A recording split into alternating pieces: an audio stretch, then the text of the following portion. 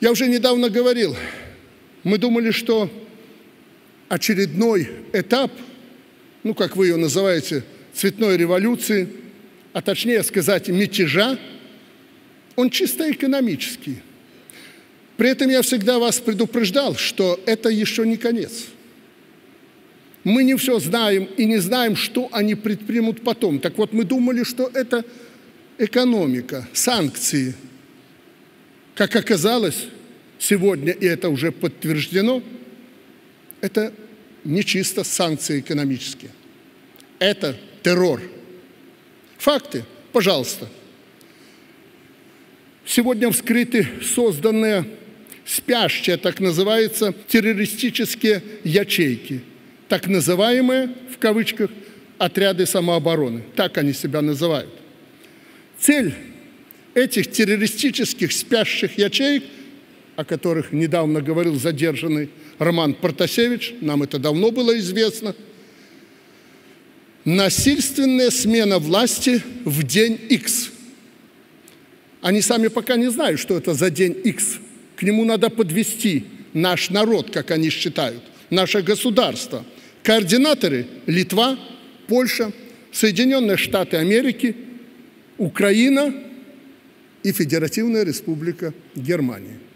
Создан телеграм-ресурс, называется «Отряды самообороны Беларуси». В нем две с половиной тысячи подписчиков. Не скажу, что все готовы взяться за оружие, но это их боевой резерв – мы их знаем в лицо.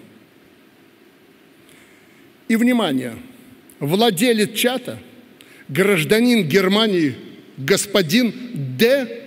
Хоффман, ранее гражданин России и Украины.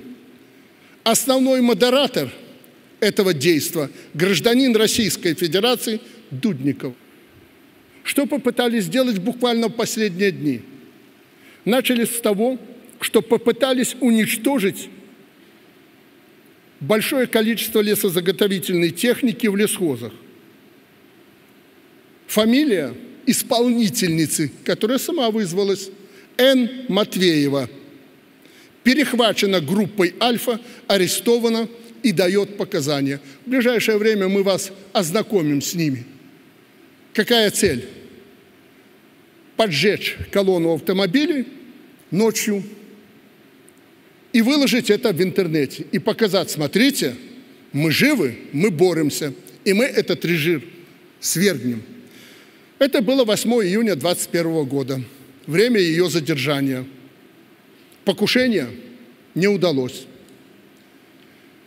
Следующее, более серьезное мероприятие, которое было затеяно совсем недавно, 27-28 июня 2021 года – Покушение на подрыв узла связи военно-морского флота России «Вилейка», радиостанция «Антей». Ну, вы, наверное, знаете, что недавно мы, так сказать, плотно общались с президентом России. Мы об этом не сообщали, потому что тогда операция еще не была закончена. Но мы серьезнейшим образом обсудили и эту проблему. Результат этого обсуждения вы понимаете. Все участники теракта – в том числе тех, кто осуществлял и организован, в течение двух суток были найдены и арестованы. Ну, у меня сразу могут потом спросить, если я дальше не продолжу. А фамилии? Пожалуйста. Гулевич, Ашурак, Глотов, Господарев, другие при попытке бегства в Украину и Литву все были пойманы, все до единого. Молодцы. Ребята из группы «Альфа» и другие, которые их задержали.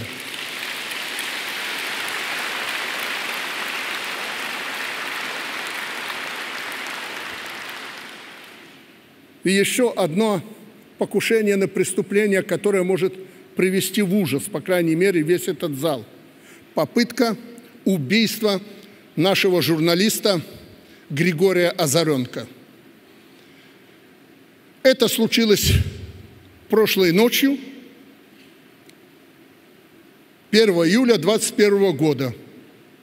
Цель – обездвижить, цитирую, захватить, бросить багажник, вывести в лес, самое глухое место, отрезать язык, взять ножницы, чтобы сам это сделал. Если не сделает сам, те, кто был нанят за 10 тысяч долларов, деньги были перечислены, он должен осуществить эту операцию и заснять на камеру и выложить в интернет. Это как предупреждение, смотрите, мы вас всех перережем, как минимум отрежем языки, чтобы молчали. Демократия. Если не получится убить, пистолет был привезен из Украины и спрятан в Гомельской области в тайнике, как и другие приборы, тепловизоры и прочее, которые использовались при попытке подорвать Вилейскую станцию связи Российской Федерации с военно-морским флотом в Атлантике. Все были изобличены. Найдены тайники. Операция продолжалась долго. Опять спросите фамилия? Пожалуйста. Это Сосновский.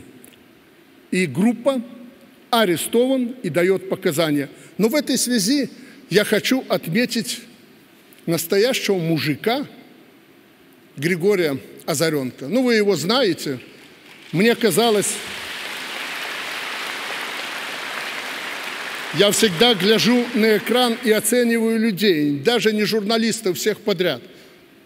Я всегда думал, ну, если мужики наши выходят и борются на экране, а как в действительности?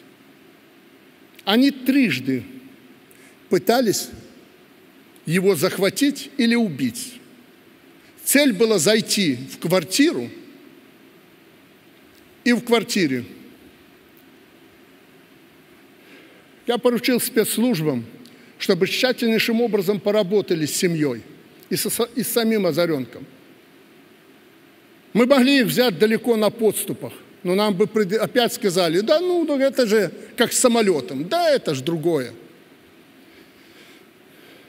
Подключился генерал Тертель к этому. Мы вели долгие переговоры с родителями. Они сразу согласились, да, мы готовы к этой операции в квартире. Но они побоялись прийти в квартиру. Потом потребовали от этого Хоффмана, который управлял операцией из Германии, полностью все задокументировано, потребовали от него денег.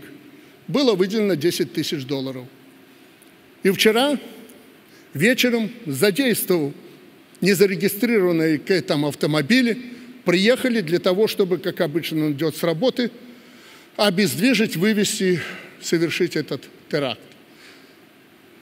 Я попросил также спецслужбы, чтобы они переговорили с Григорием, чтобы он согласился, что называется, на живца. Это было опасно. Но он, как настоящий мужик –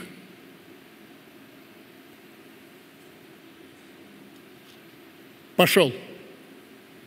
И что удивительно, он первым бандюгу, который шел на него, и он знал, что он вооружен, начал с ним драку. Он повалил его и начал с ним бороться. Буквально секунды. И были захвачены эти мерзавцы, все группа и этот исполнитель. Я хочу поблагодарить родителей – за этого парня.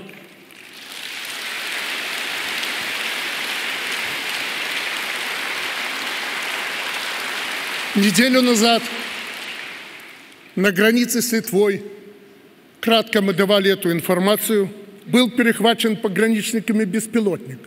Мы долго вели разговор с литовцами, откуда и что, до сих пор неизвестно. И тогда, спустя несколько часов, всяких переговоров было принято решение уничтожить его. Мы сбили этот беспилотник. Была прицеплена канистра со взрывчаткой, обезврежена, и в ближайшее время мы этот эпизод вам покажем. Так кто же совершает преступление на границе? Я честно сказал, что мы не будем больше держать тех, кого вы гнобили там, в Афганистане, Иране, Ираке – у нас нет на этого ни денег, ни сил в результате ваших санкций. И понимаете, никто не знает, что происходит в Литве и на границе – Это просто факт. Много можно называть эти факты, но скажу одно. Скажу следующее, чтобы вы меня поняли. Я распорядился сегодня, чтобы все эти эпизоды были изложены конкретнейшим образом в средствах массовой информации. И поручил правоохранительным органам произвести, грубо говоря, зачистку по всей стране. Они перешли черту. Мы им простить не можем.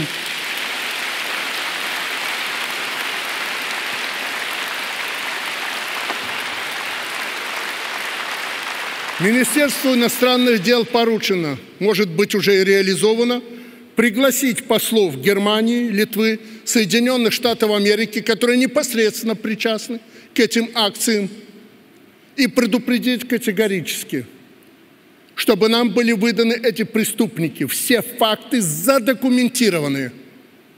И мы докажем их вину, там и доказывать не надо. Они сами об этом им расскажут. И вы увидите – их истинное лицо и немцев, и американцев, и поляков, и литовцев. Но что поражает? Огромное количество, о чем я говорил еще в прошлом году, многие мне не верили, огромное количество оружия поступает из Украины в Беларусь. Поэтому я поручил пограничным войскам полностью перекрыть границу с Украиной. К нам могут приехать только лечиться люди и мирные граждане. Всех остальных в плен брать не будем.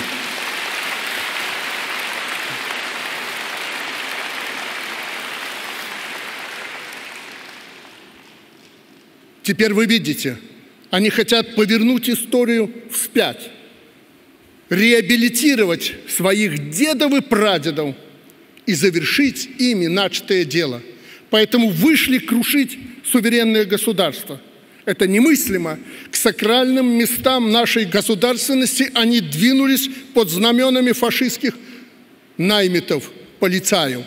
И в последнее время наши средства массовой информации все больше распространяют факты о том, что в костелах хотят помолиться завтра, не то сегодня, под могутный Боже. Смотрите, нарветесь. Мы должны были защитить свой суверенитет.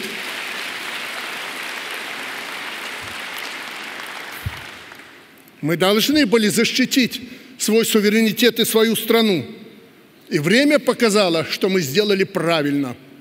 Уже, наверное,